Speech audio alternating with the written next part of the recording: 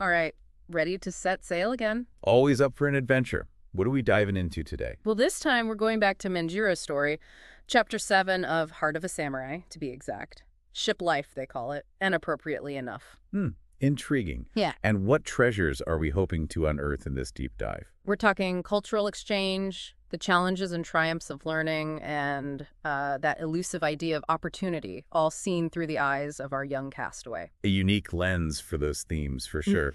I'm guessing our trusty discussion guide, key passages, and thought-provoking questions will come in handy as always. Absolutely. And it's a good thing, too, because this chapter is packed with insights. I mean, picture this. You're a teenager, rescued from a deserted island, yes, but then plunked right onto an American whaling ship. Talk about a crash course in a whole new world. Oh, I can only imagine. The sights, the sounds, the smells. And that's even before we get to the language barrier. Right. And speaking of language, the author doesn't let us off easy. Remember how Manjiro struggled with those simple words? Oh, absolutely. Like C, C, and C all sounding the same to him. It's humorous, sure, but it really drives home how much we take for granted when we share a common language. It makes you realize how much gets lost in translation, literally. And it's not just the words themselves, it's the cultural baggage they carry, like that bit with the bow of the ship versus taking a bow. I mean, imagine trying to explain that to someone who's never encountered those concepts before. It would be like trying to explain the concept of color to someone who's been blind since birth. Wouldn't it? Well- You can describe it, but the true understanding, the lived experience, that's something else entirely. Exactly. And speaking of understanding, one of the things I found fascinating in this chapter was how Manjiro's perception of the sailors begins to shift. Ah, yes. They start out as these almost mythical figures to him, right? Mhm. Large, imposing, speaking a language he doesn't understand. Precisely. And remember how terrified he was at first. But as he spends more time on board, he begins to see them as individuals, each with their own quirks and talents. It's amazing how quickly those initial barriers can crumble once you start to see the person behind the stereotype. Absolutely. Like, you've got Edward with his penny whistle, pardon, meticulously crafting his scrimshaw. Even Isaiah with his dry sense of humor.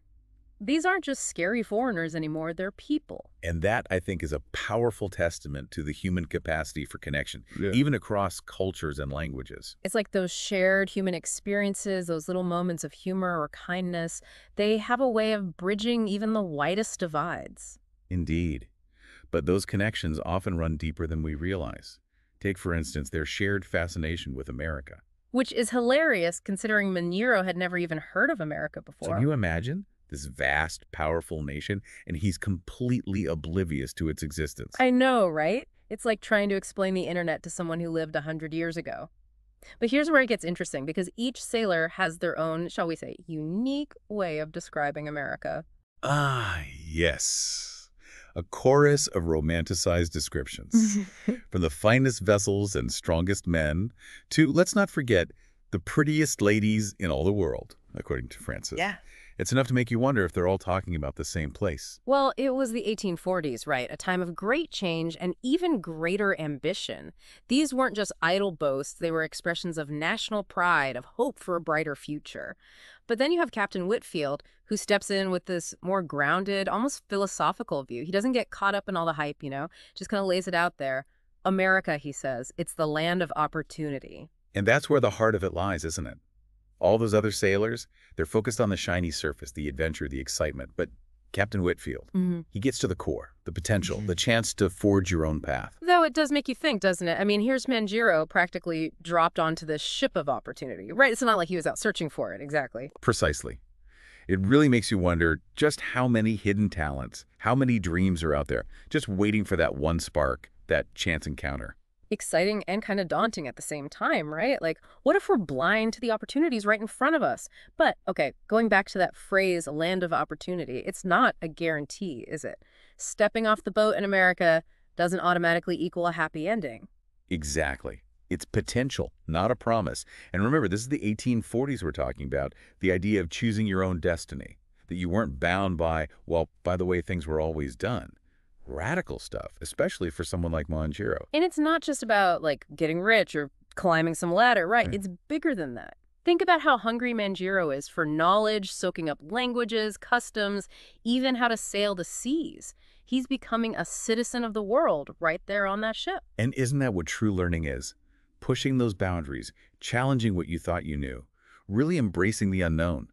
Manjiro shows us that the most unexpected opportunities often appear when we're willing to step outside our comfort zones. Which actually reminds me of that scene where they're all gathered around him, telling these grand tales of America. Until Captain Whitfield walks in, Hmm. and they scatter like, well, like startled seagulls, yeah.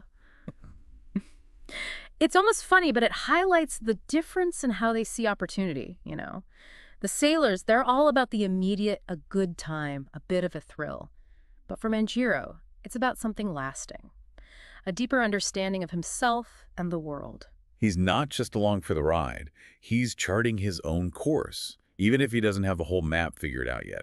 And it really underscores the power of learning, even in the toughest environments. Because let's be honest, life on a whaling ship back then, brutal. But even in the middle of danger and hardship, there's this understanding that knowledge, it's valuable. It opens doors, creates possibilities that wouldn't be there otherwise. Absolutely. Just look at Edward, finding comfort and a way to express himself through playing that penny whistle. Small detail, maybe, but it speaks volumes about the human spirit, you know, finding joy and meaning in the most unlikely places. And isn't that a form of opportunity itself? That chance to find those little pockets of beauty and fulfillment, even when life gets chaotic. I think so. It speaks to our need to learn, to grow, to find something bigger than ourselves to connect with. So we've been talking about opportunity as this external thing, a chance meeting, a new place, a lucky break. But what about what's inside? Manjiro could have just accepted his situation, kept his head down. But he doesn't. He chooses to get involved, to learn, to imagine a different future for himself. So it's not just the opportunities themselves, right? It's about being open to seeing them, to grabbing hold when they appear.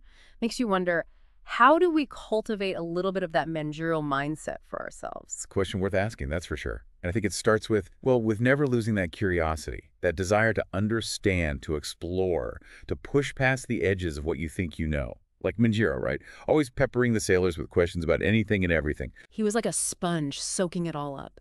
And that's got to be key, don't you think? That active engagement, always asking why and how, almost like a muscle you can strengthen over time. Precisely. It's one thing to just let information wash over you, but it's another to really engage with it. And to remember, not everyone's going to have the same viewpoint. Remember how each sailor had their own, uh, shall we say, colorful take on America? Ranging from land of the prettiest ladies to godless cannibals, if memory serves. Exactly.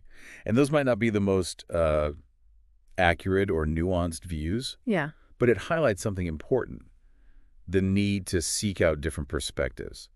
It's about putting those puzzle pieces together, realizing that no one person has all the answers. Such a good reminder for us today, especially with, well, with how much information is out there. Don't just accept something at face value, even if it sounds convincing. Look closer, question those assumptions, and never be afraid to say, what if? Precisely. Yeah. That's how we challenge our own biases, how we keep growing. And that, in a way, is the ultimate opportunity, isn't it? To become lifelong learners, constantly adapting in a world that never sits still. And you know, it struck me in this chapter how often opportunity seems to come hand in hand with uncertainty. Kind of like the ocean itself, you Yeah. know? Vast, unpredictable, maybe even a little scary at times. But also teeming with life, with beauty, with endless possibilities. And that's really the key, isn't it? Shifting your perspective, seeing challenges as potential avenues for growth, for discovery. Choosing to focus on the opportunity part of opportunity, right? Not just the risk, but that wide open potential that comes with embracing the unknown. Beautifully put. And as we leave Manjiro standing at the edge of this incredible journey, his future unwritten, but full of promise, it really makes you think, what uncharted territories are out there waiting for us? Mm. What opportunities are we overlooking because they don't fit our idea of what's possible? Now, that's a powerful thought to end on, and one I know I'll be pondering for a while. Because if Manjiro, shipwrecked and alone, could stumble upon such a life altering opportunity, just imagine what we can achieve when we actively chase after them, when we embrace curiosity and never ever stop learning.